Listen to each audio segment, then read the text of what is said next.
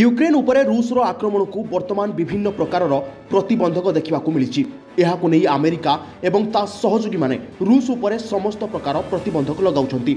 ଅନେକ ବଡ଼ କମ୍ପାନୀ ମଧ୍ୟ ରୁଷ ବିଷୟରେ ଅନେକ ଗୁରୁତ୍ୱପୂର୍ଣ୍ଣ ନିଷ୍ପତ୍ତି ନେଇଛନ୍ତି ଫେସବୁକ୍ ପରେ ବର୍ତ୍ତମାନ ଏହି ନିଷେଧାଦେଶରେ ବଡ଼ କମ୍ପାନୀ ଗୁଗୁଲର ନାମ ମଧ୍ୟ ଯୋଡ଼ାଯାଇଛି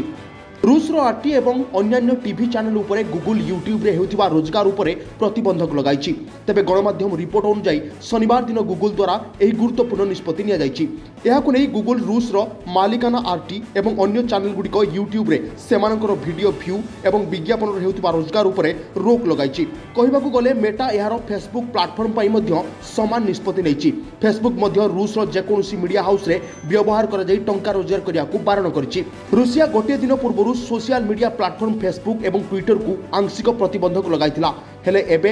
ଏହି ପ୍ରତିବନ୍ଧକ କେତେ ଦିନ ପର୍ଯ୍ୟନ୍ତ ଚାଲିବ ତାହା ସ୍ପଷ୍ଟ ହୋଇନାହିଁ ଦେଶର ସୁରକ୍ଷା ପାଇଁ ଏହା ଆବଶ୍ୟକ ବୋଲି ରୁଷିଆ ମଧ୍ୟ କହିଛି